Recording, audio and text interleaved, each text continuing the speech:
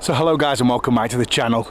As you can see, I'm in the woods today, which can only mean one thing, and that is that we're doing a Forgotten Ponds video. Now, it is the, well, it was the first ever Forgotten Pond I ever sort of tried fishing, uh, wild, overgrown. I know it's got plenty of jack pike in, but I have also um, hooked but lost a real big pike. I think it was last year on the uh, Rapala X-Rap Otis, if you guys remember rightly. I'll insert the footage here. And um, so yeah, we're out today, and I'm out doing a bit of dead baiting. Uh, it's been a bit tough around here recently. We've had loads of rain, rivers have been in flood, the little stream I've been wanting to fish has been completely flooded.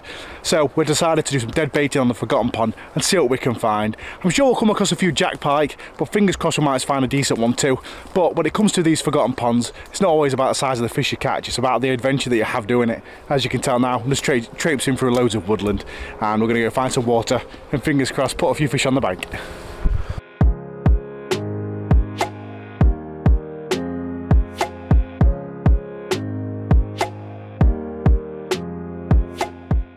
So guys, don't be deceived by the sunlight. We have just reached our first spot of the day and it is freezing. We've got 30 mile an hour winds and it is bitter. I think it's about, feels like minus one. So very, very chilly at the minute. We're gonna get some baits out there. We've got a nice margin, uh, which looks really good. It's deep, I can see it's probably about six foot plus deep, and there's snags down there, right down this near side margin. And the opposite margin, on my right hand side, is really shallow, only about two foot deep, and it's quite deep in the middle. So what we're gonna do is work our way down the left hand side where it's deeper first, in the snags, and then we're gonna work our way out into the open water, and then we're gonna pack up and move on. Probably spend a couple of hours in each swim. Right, let's crack on, get the rods out there, and fingers crossed, get some fish.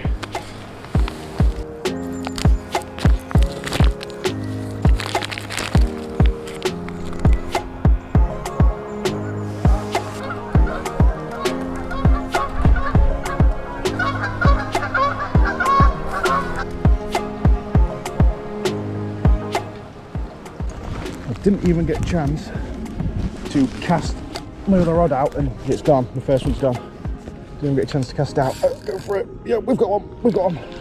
First fish hooked. Did not have my drag set tight enough. Definitely not a big one. But first fish of this Forgotten Ponds saga we're doing today. Oh god, he's got me wrapped up in a bit of a tree here. They're definitely not a monster first fish of the session and I'm more than happy with that. In fact, I'm going to chin him because both of the hooks are on the outside of the mouth. Or one hook rather, should I say. There's only one hook, isn't there, on that. What a good start to the session. And he is fat. Definitely feeding well. I'll rest him in the net while I get the rods cast back out. I'm glad I got my bait back, so I'm going to cast it straight back out. Rig worked perfect. I've been fishing for five minutes maybe. Maybe five minutes.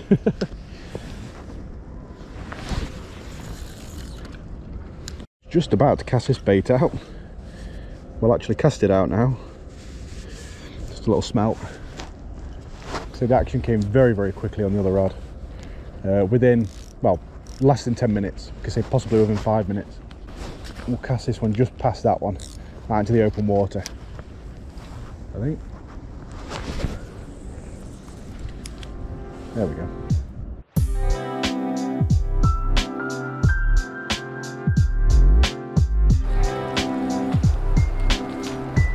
What I like to do is when the baits have been still for so long is just gently twitch them back. Most bait anglers will do this during the session, especially if you're on the float. Essentially sinking and drawing.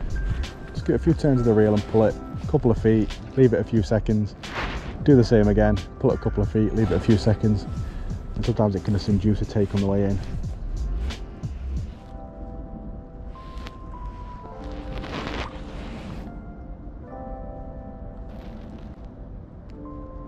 Oh, it worked, it worked. A pike followed it all the way in and it just took the bait right at my feet, just there.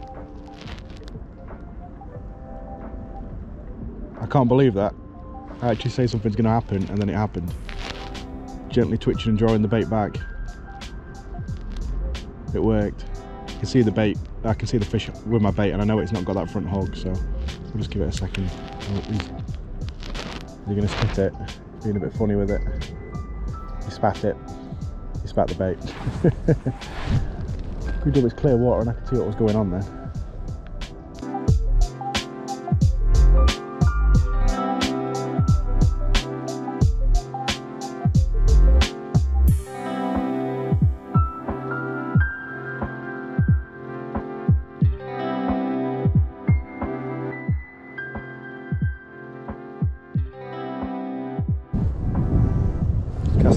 Just clearing the weed off it. See if anything happens. There's definitely a bite. It just bopped under the water like that and then bopped again a little bit and then just sat still. So something definitely showed interest on that one. In fact, it's moving right now. He's pulling to the right. Yeah, there was a fish and it's taking it straight away as soon as I've cast back out. Can you see my float? It's just kiting off to the right now. Very slowly, but that's definitely a bite. No denying. I might just go for the strike. Might just be a small fish nibbling on it. Let's go for it. We got it! We got it! We got it! We got it! We got it! Oh, he's come off! He got me snagged up. Well, swim number one has been productive. We have caught a pike, we lost a pike, and we've had like two drop runs but it is in the path of the wind and the wind is getting stronger and it is freezing. So I'm going to leave this swim now I've been here for about two hours. I don't think there's any big fish here. I think the drop runs I've had in the run that I had in the margin uh, where the fish dropped the bait there were only small fish. So we're going to move around now hopefully to a more sheltered area right in the trees and amongst these ponds. And fingers crossed we'll find some more fish and not get frostbite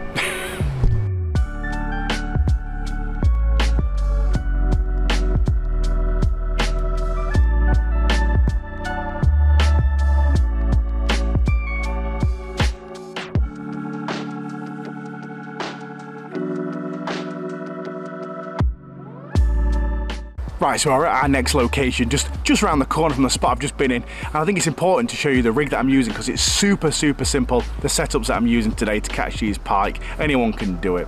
So the rod and reel, uh, to begin with, is the rod and reel you see me use for dead baiting and actually during some of my carp fishing sessions this year. Uh, the three pound test uh, Carp Spirit Blax. They're 10 foot, like I say, three pound test. They're perfect for setting the hook on pike with these bony mouths. Um, and then the reel is the Okuma Ceymar bait feeder reels. And the one that I'm holding right now is one that is loaded with 60 pound braid. And that's because I've got one extra heavy setup for when I'm fishing close up to the trees and close up to the snaggy areas in this pond to be able to get my rig back if I was to get snagged up. And the other one's got, I think, 20 or 30 pound mono on. So the rig, like I say, is super, super simple. I'm fishing cigar floats mainly and these are pre-weighted which makes things even easier because we're going to be drifting floats around and drifting baits around. We're not going to be fishing float ledger we're not going to be fishing baits on the bottom. We're going to be moving around constantly and trying to find these fish. So fishing these with a small float stop above them on the braid and then at least down to the wire trace. Nothing else on the line whatsoever. Then we have the wire trace with my what I like to call a safety hooking rig. It's not a double treble rig and it's not a single hook rig. It's a bit of a hybrid of the two. So we have a single hook um, above the the treble hook and that one is hooking to the back of the bait fish that I'm using. It acts as an anchor holding the bait in place and that hook isn't actually the one we intend on hooking into the pike, it's the treble hook that does that job. This one just acts as an anchor and the reason why I'm putting them into the back of the bait fish is so that the bait fish sits horizontal under the water looking like perhaps a small bait fish that is withering around or dying, not necessarily a dead fish. And that way we get to cover water quite quickly. And like I say, it probably imitates more of a dying fish as opposed to a dead fish as it sits upright in the water. And on these forgotten ponds, they don't get pressures too much, so we don't need to be too critical with our setup. Just having a bait drifting around mid-water is enough to get bites as you've seen so far. So let's cast out again in the next swim and fingers crossed, get some more pike on the bank.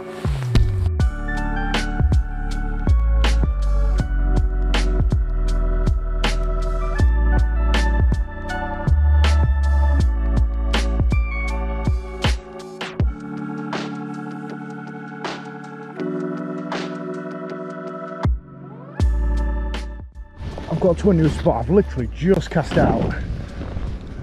It seems to be a bit of a theme on these sort of ponds. Seems to get early bites and then it gets quiet, but I've just cast out and I've just had a bite on the slightly bigger bait I've cast out. Although I might have dropped it, I'm not so sure. No, we still got it. Let's go for it, make sure it drags tight. We got it, we got it, we got it.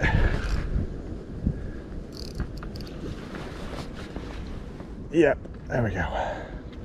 Knew there had to be a fish here. Look at all the snags. Got the tree branches, we've got the reeds.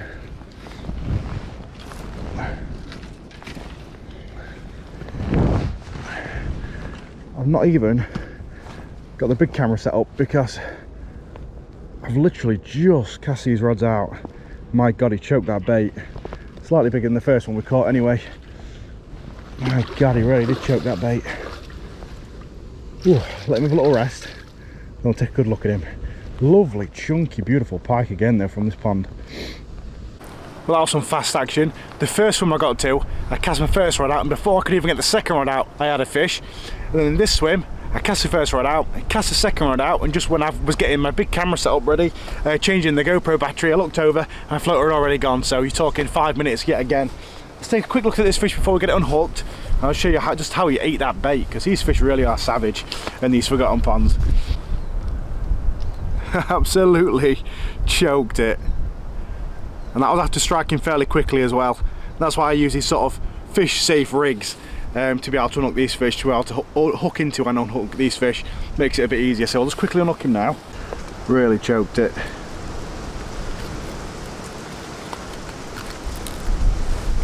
There we go nicely unhooked now I often question what these forgotten ponds pike must be eating because I never ever see many bait fish in here but obviously finding plenty of food because even though this is just a small jack pike look at how big his belly is. Obviously must be plenty of bait fish in here for him. Nice healthy dark fish beautiful yellow spots just like the first one. These really are some stunning pike and I can't wait to catch a decent size one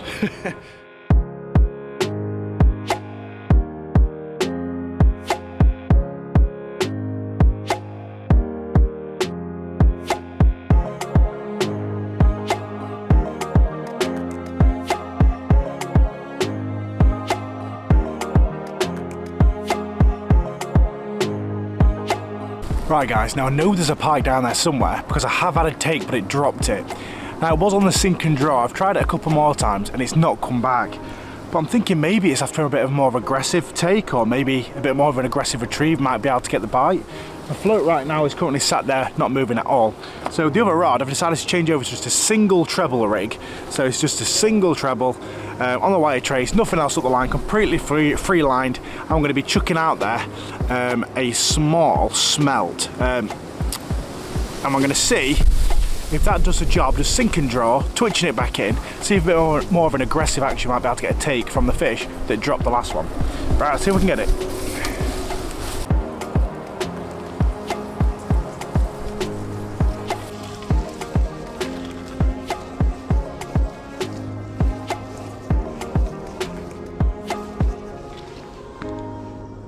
We've got to take, we've got to take, it worked, it worked, it worked. yes. I was tangled up on the reeds in front of me for a second, so I was a bit uncertain about what had just happened, but yeah.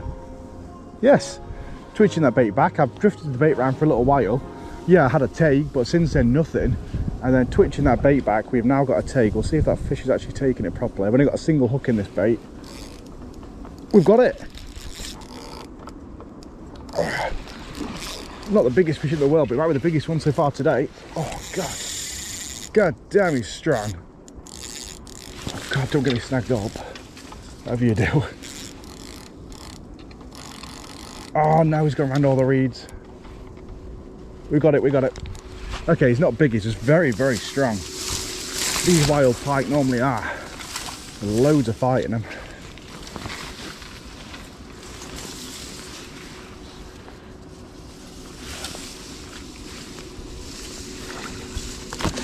Yes, we got it.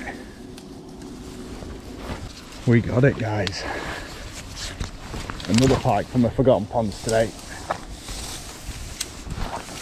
Definitely the biggest one so far. And if I do say so myself, not a bad one for this little Forgotten Pond. That single treble hook there, just on my smelt twitching rig. There we go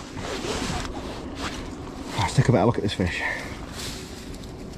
I think that was a perfect example of when something isn't going quite, quite right with your swim, where you know there's at least one fish down there. Sometimes just changing what you're doing ever so slightly can get you a take. And this is an absolutely beautiful Forgotten Pond pike. Now this particular set of Forgotten Ponds, the average size pike in here is probably only about two pound. So to catch a fish of this size, which is probably about, I don't know, five, maybe a bit over five pound, is actually a fantastic fish for this particular set of ponds. And I'm over the moon. I've only got one or two more baits left, so we'll try in the next swim. and then I think it'll be time to head home. I've only been fishing maybe two and a half, three hours. Absolutely fantastic.